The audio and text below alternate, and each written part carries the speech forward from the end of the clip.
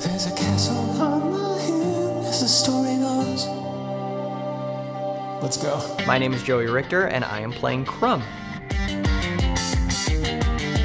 Crumb is a mouse turned squire, and he has been tasked to be Sir Hop-A-Lot's squire uh, in aid of Ella and her journey.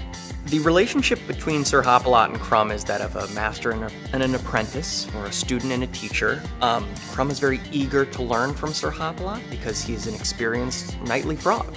Um, and he wants to achieve that level of greatness that Sir Hop-A-Lot is at. So he is he is always wanting to learn. He is always wanting to, to be his best, but he's always, you know, beating himself up a little bit because he doesn't have the confidence built up within him because he's, look, look at this guy. He's a tiny little mouse. And he should be the most confident because he's a beautiful boy.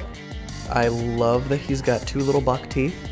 Um, I love that he's got big old ears. He is truly the softest little creature you've ever seen. But yeah, he, he has a lot to learn from Sir Hop-A-Lot, and I think there's there's almost a um, a kind of older brother, little brother, him teaching him stuff, and you know, even though he's stern with him, um, I think it's the kind of tough love that that uh, Crumb needs to do his best.